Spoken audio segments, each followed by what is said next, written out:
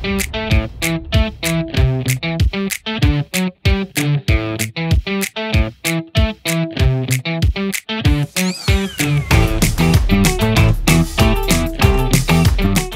vediamo oggi? Oggi vediamo un grande effetto di Frater Cipriani. Andiamo a vederlo. In che cosa consiste l'effetto? Molto semplice, uno, uno spettatore taglierà, non so, una porzione di carte, mettiamo queste, da questa porzione tagliata dallo spettatore ne andiamo a prendere una parte anche noi e tutto il resto verrà steso al nastro. Ora diremo allo spettatore che noi mettiamo una carta sul tavolo e lui può prenderne una qualsiasi dal suo nastro e metterla qua sopra. Possiamo prenderne, anzi no, diciamo allo spettatore che può prenderne una lui questa volta e una la mettiamo noi tutto il resto non ci serve. Ora, se andiamo per ordine, una carta l'abbiamo messa noi, una lo spettatore. Una l'ha messa lo spettatore, una noi. Togliamo il resto del mazzo e signori, due gemelle. Ma non solo le uniche quattro carte nere in un set di carte rosse tagliate dallo spettatore. Veramente bella questa routine. E... Sì, si può fare anche impromptu, eh, dipende sempre dalle capacità gestionali che si hanno del pubblico. Eh. E poi è semplice insomma da realizzare. Andiamo, andiamo a studiarlo insieme, su. Stamattina carburo poco. Allora, il setup è molto semplice, dobbiamo avere quattro carte nere, due, due coppie di gemelle, diciamo, intervallate, una al centro e l'altra coppia eh, separata ai lati. Mo ho due donne e due otto, o gli otto stanno ai lati a noi non interessa, o anche se non sono queste carte. Altra cosa, bisogna avere la parte superiore del mazzo tutte carte rosse.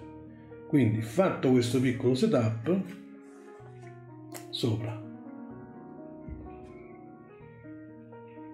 Abbiamo quindi sulla cima del mazzo le quattro carte nere e tutte le carte rosse. Eseguiamo un falso miscuglio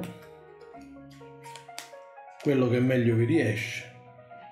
Ragazzi, ne stiamo vedendo abbastanza, diciamo, sul canale, quindi se, se ci seguite studiatene uno che più vi è consono. Quindi cosa succede? Mettiamo il mazzo da una parte e invitiamo uno spettatore a tagliarne circa la metà. Quindi posa la porzione, noi ne preleviamo 4-5, insomma, 2, 4, 6, 7 ne ho prese e stendiamo a nastro tutto il resto. Ora diremo allo spettatore che se noi mettiamo una carta sul tavolo, lui può metterne una qualsiasi e gliene facciamo prendere una dal nastro. Poi facciamo per eh, prendere un'altra carta, in realtà prendiamo un break sotto tre carte. E ritorniamo sui nostri passi dicendo allo spettatore, anzi questa volta prendi la prima tu, quindi lui prenderà un'altra carta e noi metteremo la tripla che abbiamo tenuto al break al mignolo. Quindi per lo spettatore 4 carte sul tavolo, in realtà ce ne stanno 6. Tutto il resto possiamo tranquillamente posarlo. Ora prendiamo in mano le 6 carte e avviciniamo il mazzetto a noi.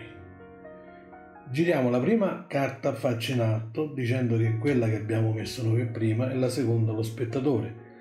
Poi viene la carta dello spettatore che andiamo a girare faccia in alto che è un 8 quindi facciamo un push di 4 carte, di 3 carte scusate, oppure facciamo una, un pull down all'ultima, dobbiamo praticamente prelevare le 3 carte e metterla sul mazzetto, così che sotto la carta nera noi possiamo scaricare le due rosse sopra al mazzetto centrale. E poi diciamo questa è l'ultima che abbiamo girato noi, che abbiamo preso noi.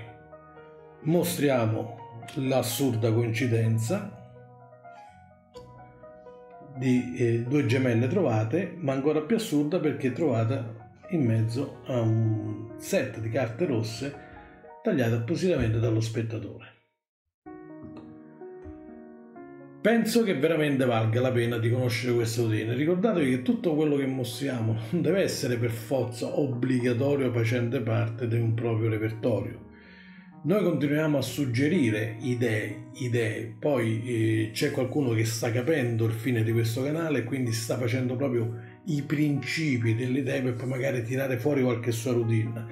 Ma eh, anche in un ampio panorama di quello che stiamo fornendo, eh, potrete essere in grado di crearvi un vostro repertorio, su misura, un abito appositamente tagliato per voi. Detto questo ragazzi, vogliamoci sempre bene e viva la magia, ciao!